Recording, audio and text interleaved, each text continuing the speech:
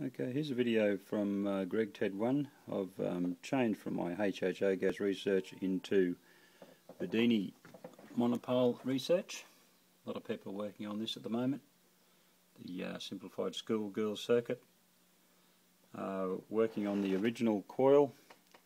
Uh, that's about 600 700 turns of uh, 0.5 and 0.8 mil wire and the skateboard wheel that everybody's working with and there's the circuit just all standard. I've changed from that to uh, a design courtesy of uh, Emotep on YouTube of the uh, computer fan and that worked really well. Now I've gone from there to a, a VCR drive motor that I've changed and uh, when I work out how to do it I'll put the um, schematics and the changes I've done on YouTube. Um, there's my drawing of the back of the uh, the uh, circuit board, the VCR motor. All you have to do is cut the track here and here and run a wire from there down to this point and you have a start of one coil and the end of the coil, start of another coil, end of a coil. That's how simple it is. Put it all back together, hook it up to the Bedini circuit and off we go. So we've got a 18 volt Hitachi cordless drill battery. We'll hook up our earth lead, give this a bit of a wind up, and just flicking it like that we've got a 240 volt LED halogen bulb here that's running off that.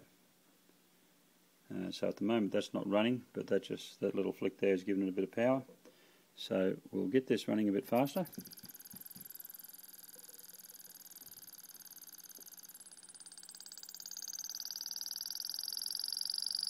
Start winding it up. Now primary voltage 90.0607. VCR motor cranking up nicely. There's your downlight bulb working and fine tune the pot.